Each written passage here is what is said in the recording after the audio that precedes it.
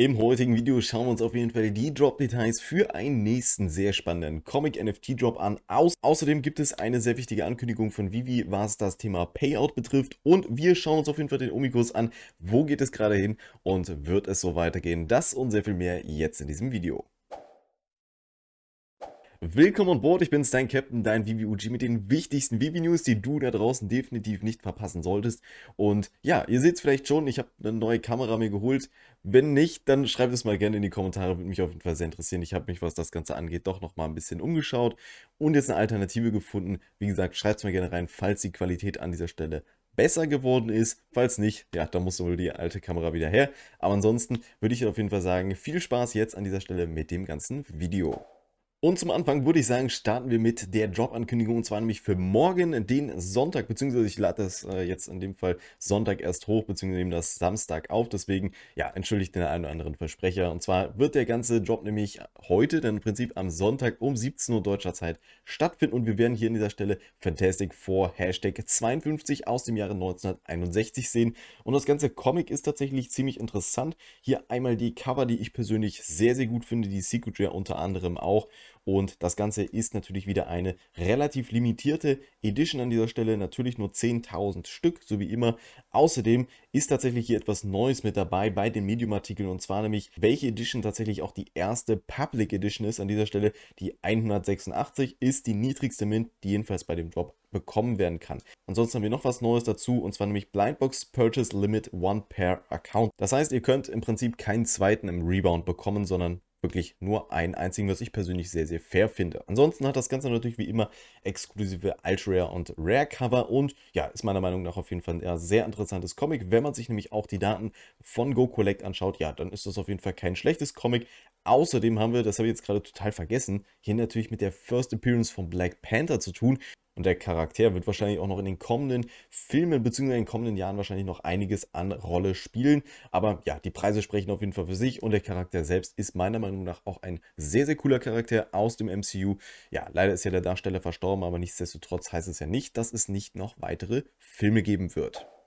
Und ansonsten für alle Leute, die sich so ein bisschen auch auf YouTube rumtreiben, gibt es hier ein sehr schönes Update. Und zwar bringt nämlich Vivi jetzt in Kombination mit Corey, einem ehemaligen Vivi-Influencer, hier jetzt auch immer Videos zum Beispiel zu den kommenden Jobs raus. Zum Beispiel einmal hier zum Fantastic 4 Hashtag 52 Comic gibt Corey euch hier nochmal einen kurzen Breakdown. Und genau das gleiche auch nochmal für das Comic, was gestern gedroppt ist. Ist natürlich an dieser Stelle auf Englisch trotzdem sehr, sehr cool gemacht und sehr informativ. Deswegen schaut auf jeden Fall gerne rein, wenn ihr euch dafür interessiert. Und ansonsten kommen wir zu einer ganz kurzen Ankündigung was das Thema Payout betrifft. Und zwar gibt es hier nämlich eine kurze Pause, weil sie hier nämlich einige Upgrades machen und einfach ein paar technische Dinge umsetzen. Danach wird es aber natürlich weitergehen. Das wird wahrscheinlich so ein paar Tage dauern. Ich gehe davon aus, dass wir das Ganze wahrscheinlich so in etwa ja, zwei Wochen spätestens wieder haben sollten, beziehungsweise dass das Ganze wahrscheinlich vier bis fünf Tage erstmal dauern wird und dann vielleicht am Wochenende nächste Woche wieder released wird. Wir werden sehen, aber auf jeden Fall ist das hier nichts Großes. Ein paar technische Upgrades sind, denke ich mal, ziemlich normal und, und unbedenklich, dass wir auf jeden Fall Payout an dieser Stelle nicht wiederbekommen sollten. Dann würde ich sagen, schauen wir uns mal den Omikus an, denn der ist auf jeden Fall ziemlich interessant momentan. Momentan seht ihr auch schon hier bei CoinGecko 12,9% sind wir hier an dieser Stelle momentan im Plus in 24 Stunden, was schon mal ziemlich gut ist. Und man sieht hier auch, ja, in den 24 Stunden einen ordentlichen Pump nach oben.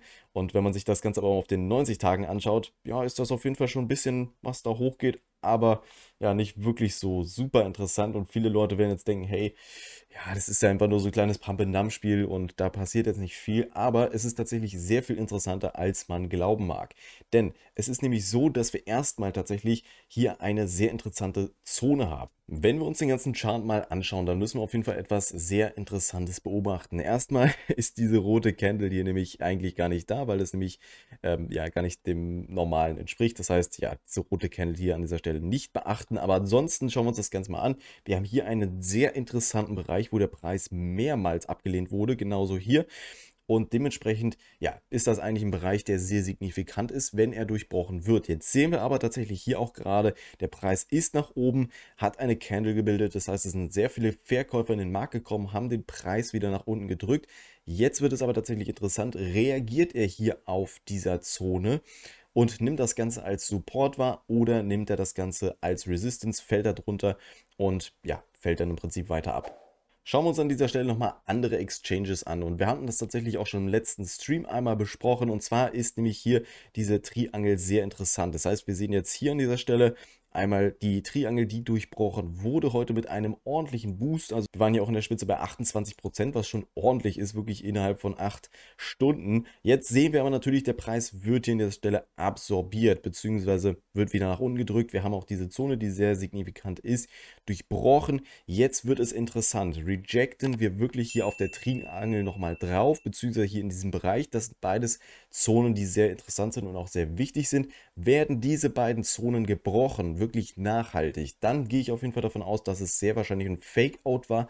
Ansonsten gehe ich aber davon aus, dass es tatsächlich eine nachhaltige Bewegung ist. Ich persönlich werde auf jeden Fall nochmal nachkaufen. Schauen wir uns das Ganze aber nochmal auf anderen Börsen an, wie zum Beispiel hier auf Ascendex. Und Ascendex gehört somit einer der zweitgrößten Exchanges, wo OMI gehandelt wird. Deswegen auch relativ wichtig an dieser Stelle. Und wir sehen jetzt auch hier gerade eine sehr interessante Bewegung. Und zwar nämlich weiter nach unten. Jetzt wird es interessant. Ich habe an dieser Stelle die Triangel nicht eingezeichnet, aber die müsste so in etwa hier in diesem Bereich liegen, beziehungsweise bei dieser Support.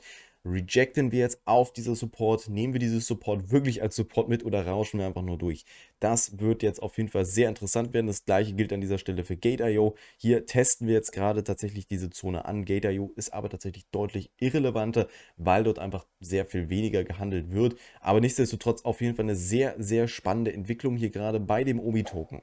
Und wie schon gesagt, also ich gehe auf jeden Fall davon aus, dass wenn wir die Triangel bzw. die Supports halten sollten, dass es dann auf jeden Fall weiter nach oben gehen könnte, bis hoch auf auf jeden Fall neue Level wie 0,001 5. Das sind aber natürlich erstmal Dinge, die noch in der Luft schweben. Sollten wir wirklich diese Sachen positiv ausbauen, diese Zonen, dann sehe ich wie gesagt grün. Ansonsten gehe ich aber davon aus, dass wir tatsächlich nochmal weiter fallen werden. Das ist aber tatsächlich nur meine Meinung. Ich persönlich betreibe trotzdem weiterhin DCA. Mich lässt das ehrlich gesagt nicht zurückschrecken. Aber mich würde auf jeden Fall deine Meinung investieren. Wie gehst du gerade mit dieser Situation um? Kaufst du nochmal nach oder wartest du tatsächlich nochmal auf tiefere Preise? Schreib es mir sehr gerne in die Kommentare. Und ja, das war es an dieser Stelle auch schon wieder mit dem ganzen Video. Wenn dir da draußen das ganze Video aber natürlich gefallen hat, gib dem ganzen Video doch sehr gerne ein Like. Und ansonsten bedanke ich mich auf jeden Fall riesig bei dir fürs Zusehen und wünsche dir noch einen wunderschönen Morgen, Mittag und Abend. Bis dahin, dein Captain. Ciao, ciao.